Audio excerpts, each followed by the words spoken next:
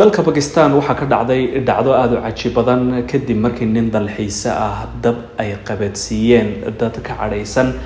in uu aflagaado u geystay kitaabka qur'aanka kariimka ah kadibna uu gubay qeybo ka mid a ninkan ayaa lagu soo eedeeyey labadaasi dhacdo waxaana lagu xidhiiday saldhig ku yaalla dooxada madyaan ee dalka bakistan dad ka cadhaysan aflagaadada uu geystay qowlka alleh ayaa inta ay saldhiggii gudaha u galeen ayay ninkii dibadda ula soo baxeen kadibna dab ayay qabadsiiyeen sidoo kalena kama ay hadhin saldhiggii uu ku xidhnaa laftiisa ayay dab qabadsiiyeen kadibna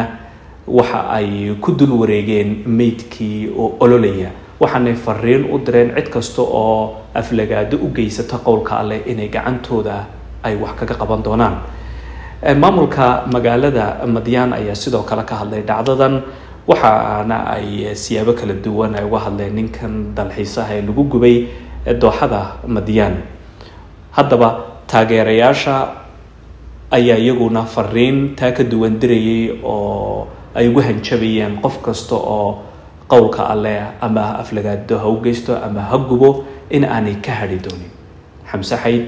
c b maasha allah soo dhowaada. La jaanqaad shirkadda telesom. Maxmil waxay kuu diyaarisay adeegga internetka ay faibar optiga kaasoo xawaarihiisu kala go' lahayn waa guji waa ishaa biligteeda. Intuu soo gudlanayo hadalba gam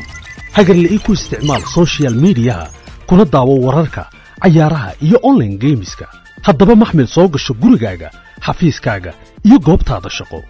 Fadlan nagala soo xidhiidh nambarka gaaban